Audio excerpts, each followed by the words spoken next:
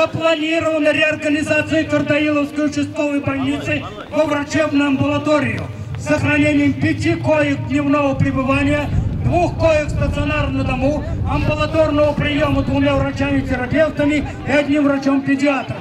Реорганизация участковой больницы для жителей села Кардаилова как гром среди ясного неба. Теперь, если потребуется лечь в больницу, придется ехать в Илек. К хирургу я, может быть, два года один раз попаду, к окулисту я попаду, а терапевт нам больница нужна. Вы лежали хоть раз в этой больнице? Говорю, да миллион раз. И такая помощь нам оказывается со всех сторон. Пусть такую помощь, если не может наше государство помочь нашей больнице конкретно туда обеспечить все, деньги влить туда, а не модернизировать. Произошел случай, ребенок отравился, бабушка дала таблетку, которую, простите, от давления ребенку, да? Если бы не сделали элементарное пробывание ночью в нашей больнице, ребенок бы умер. Как далеко или от вас находится? 40 километров, ее бы не довезли. Категорически возражаем против закрытия стационара.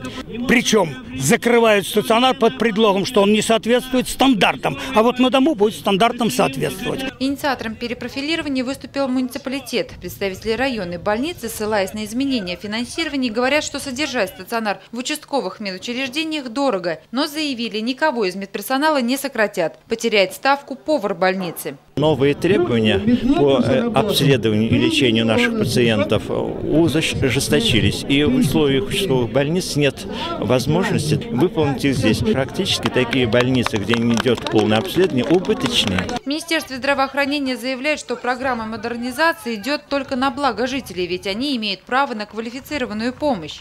Человек с инфарктом, с инсультом, он здесь не получит квалифицированной медицинской помощи, потому что врачи, да, они есть, они опытные, но оборудование, медикаменты, своевременная диагностика, этого в участковой больнице нет по определению. А вот сами пациенты не согласны с чиновниками. Николай Нестеренко после двух инсультов сейчас проходит курс лечения в стационаре. Ежедневно его навещают родственники, помогают в мелочах, например, переодеться и поесть. Уверен, что дневной стационар – не лучший вариант. Я из дома не дохожу сюда. Я вот сюда нанимаю машину какую-нибудь, мне привезут, положат, я вот отлежу потом опять домой увозят. Сегодня чиновники выслушали мнение людей, постарались объяснить, но уже 1 января 2013 года стационар закроют. По решению властей в больнице села Кардаилова оставят кабинет участковых врачей и лишь несколько коек для дневного пребывания больных. А в свободных помещениях планируют разместить социальный приют. Анастасия Шахмуть, Олег Штиллер, Орен ТВ. Больница в Кардаилово будет перепрофилирована в рамках федеральной программы модернизации здравоохранения. В селах с количеством населения от 300 до 700 человек останутся только фельдшерско-акушерские пункты. Больные будут проходить лечение либо в участковых больницах, либо в межмуниципальных центрах. С 1 июля в пилотном варианте уже действуют три на базе Сорочинской, Солилецкой и Саракташской ЦРБ. Такие изменения, по словам министра здравоохранения области, вызваны сокращением сельского населения и, соответственно, тем, что большинство больниц просто простаивают. Эта тема поднималась в программе «Просто жизнь» на нашем канале. И это мы вот объехали очень много лечебных учреждений, участковых больниц, где ни одного человека нет на койке. Важно, чтобы человек мог попасть в больницу, когда это нужно.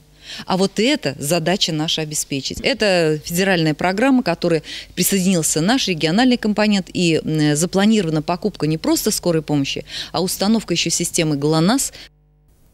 В Министерстве здравоохранения в последнее время не раз заверяли, что ни одна участковая больница области не будет закрыта. Они будут перепрофилированы во врачебной амбулатории и дневные стационары. На сегодня реорганизации подверглись две участковые больницы, а из 1028 ФАПов 8 закрыты.